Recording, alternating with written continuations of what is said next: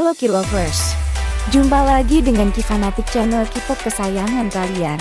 Setelah comeback perdana di 2021, dengan merilis studio album ketiga bertajuk Sticker pada 17 September, NCT 127 kembali lagi dengan mengeluarkan repackage album, Favorit. Album beserta MV dengan judul yang sama dirilis pada 25 Oktober 2021 pukul 16 waktu Indonesia Barat. Berbagai foto teaser dan video pun telah dibocorkan oleh SN Entertainment sejak 8 Oktober 2021. Bagaimana kelanjutannya?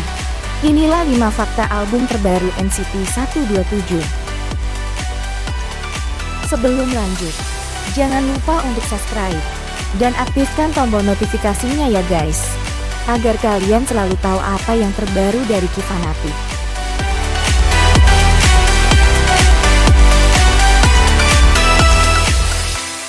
Kekuatan lagu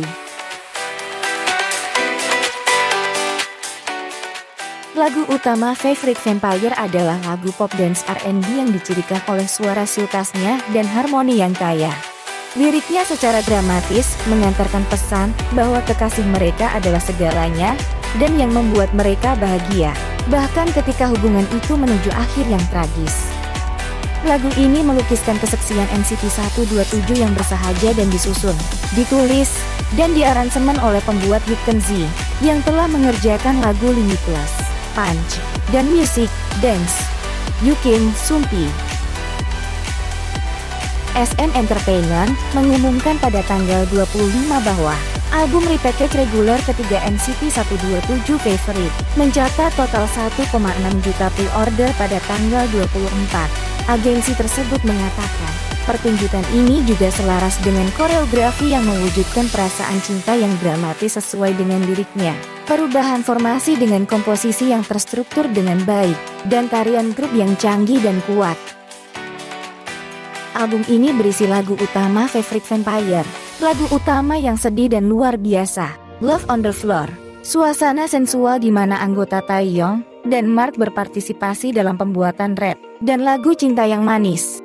Ada total 14 lagu, termasuk tiga lagu baru dengan tema cinta, seperti pilot, sehingga Anda dapat melihat warna musik NCT 127 yang penuh warna. Setiap momen yang kami habiskan bersama telah menjadi kenangan indah bagi saya, kata Taeyong, leader NCT 127 yang multifaset. Saya sangat menghargai anggota saya dan kami telah melewati suka dan duka bersama itulah sebabnya tim kami bisa sampai sejauh ini.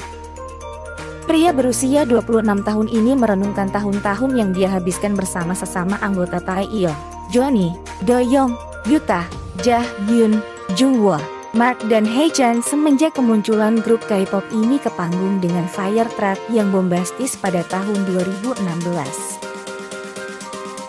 Memulai debutnya sebagai subunit kedua, dari boy group Neo Culture Technology Experimental SM Entertainment. Jaringan luas grup ditempatkan di seluruh dunia. Mereka bertemu dengan intrik yang intens dan lebih dari sekadar sedikit skeptisisme. Sekarang, lima tahun kemudian, grup ini merayakan album ketiga mereka yang terjual jutaan, dua di antaranya dalam jangka waktu satu bulan. Class Music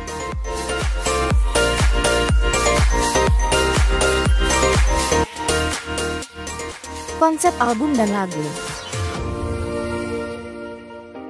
Favorite adalah versi repackage dari album NCT 127 Sticker yang dirilis pada September 2021. Terdiri dari 9 anggota, NCT 127 melakukan debut mereka pada 2016 di bawah SM Entertainment. Beberapa lagu mereka yang paling populer, Kikik, Cherry Bomb dan Regular, Video musiknya mengikuti konsep vampir karena lagu tersebut secara dramatis menggambarkan kisah cinta yang intens meskipun menuju akhir yang tragis. Kami koboi vampir sekarang, kata Mark NCT 127 tentang konsep lagu terbaru grup K-pop itu, Favorite Vampire, yang ia sebut sebagai lagu cinta jahat, melalui Zoom. Kami sangat jatuh cinta sehingga kami semua menjadi vampir. Ini mengerikan, tetapi pada saat yang sama, indah, Penjelasannya cukup untuk membuat orang menggelengkan kepala dalam kebingungan dan geli. Tetapi NCT 127 Band cabang 9 anggota dari supergrup NCT 23 anggota yang lebih besar. Terbiasa dengan ketidakpercayaan ini,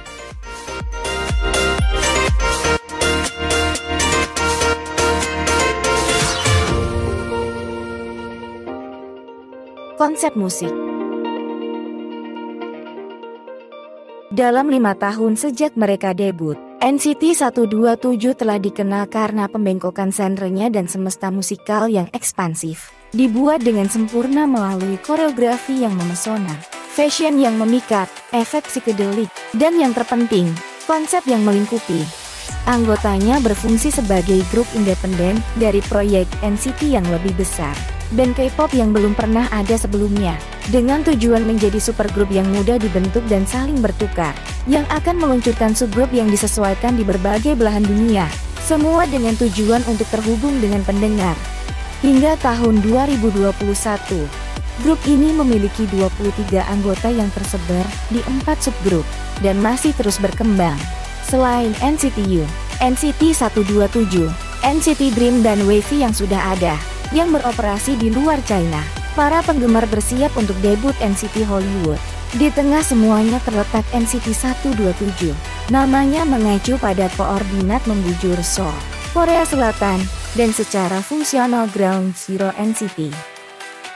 Lirik favorite Vampire cukup banyak adalah pesan cinta, jelas doyong. Tidak hanya itu, dua sisi B juga tentang cinta dan bermain di sisi emosional.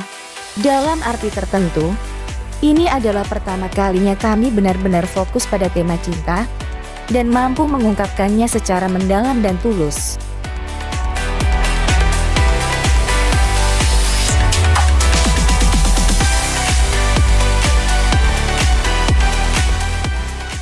Estetika vampir Berikut informasi yang mencengangkan untuk Twi Hearts. Kalan dan kota terguyur hujan tertentu, membantu NCT 127 mempersiapkan transformasi mereka menjadi makhluk abadi titular dalam lagu. Saat mengerjakan Favorite Vampire, saya benar-benar fokus untuk jatuh ke dalam semua emosi itu dan mengekspresikannya. Satu hal yang saya pikirkan adalah film Twilight, kata Jungwoo. Ujung kata-katanya ditelan oleh tawa keras dan parau dari anggota grup lainnya. Saya pikir ini mirip dengan Twilight seperti, kami ingin membuat cinta ini berhasil, tetapi ada banyak tantangan. Seperti, bagaimana gadisnya manusia, dan perjakaannya vampir, tambah Johnny. Sebelum memberikan kesan terbaiknya tentang Edward Cullen yang mabuk kepayang dengan mengatakan Bella. Terlepas dari estetika vampir, anda akan kesulitan menemukan satu jubah atau celana pendek, atau bahkan kemeja bergaris rendah yang mengalir bebas dalam visual lagu tersebut. Sebagai gantinya, koboi-koboi vampir ini tampil dengan setelan jas hitam ramping yang dijahit dengan emas, kemeja bermotif cerah, celana blue dan jaket bomber. Satu-satunya elemen umum yang mungkin mereka bagi dengan rekan-rekan abad ke-18 mereka adalah celana kulit.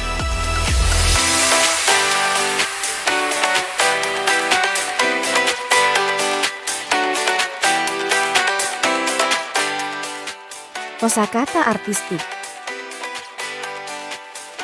Untuk NCT 127, fashion telah menjadi perpanjangan dari visi grup yang lebih besar, menambahkan lapisan visual ke kosakata artistik mereka.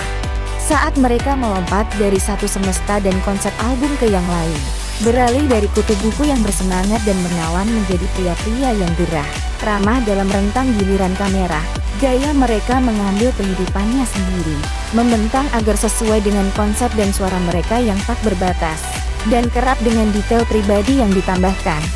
Satu contoh kecil adalah gelang tayang yang terlihat di klip balik layar pemotretan jaket untuk stiker. Menurut anggota tersebut, perhiasan seharga 500 won itu sebenarnya diambil dari toko alat tulis lokal di Seoul. Fashion hanya melengkapi ceritanya, kata Johnny. Untuk setiap lagu, kami punya konsep. Ketika Anda hanya mendengarkan sebuah lagu itu berbeda dari ketika Anda menontonnya. Kami ingin menyelesaikan ceritanya. Dan kami ingin memastikan hadirin kami memahami apa yang kami coba gambarkan melalui musik kami secara visual. Perhatian, terhadap detail ini berbicara langsung pada upaya grup yang lebih besar untuk mengambil kepemilikan atas suara dan konsep mereka. Secara bersamaan memperdalam cerita band itu sendiri dan memajukan keterampilan mereka sendiri, yang mereka katakan selalu mereka upayakan. Setelah setiap album yang kami rilis, kami memberikan lebih banyak energi dan mencoba melihat kembali melalui album yang kami buat sebelumnya untuk mencoba menjadi lebih maju dengan setiap rilisan, kata Jahyun. Akhirnya, beberapa orang mendapatkan rekaman yang lebih alami di dalam studio, atau merasa lebih nyaman di dalam studio dan dapat menunjukkan lebih banyak vokal atau rap atau gaya mereka. Saya pikir sangat wajar untuk maju, kata Jahyun. Karena kami selalu dapat melihat kembali apa yang kami rilis, dan berusaha menjadi lebih baik setiap saat. Tanu Iraj, Milan.com slash entertainment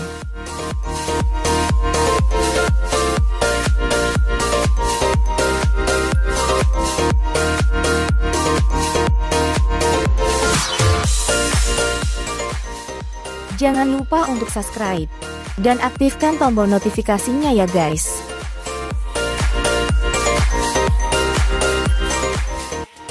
Thanks you for watching and see you tomorrow.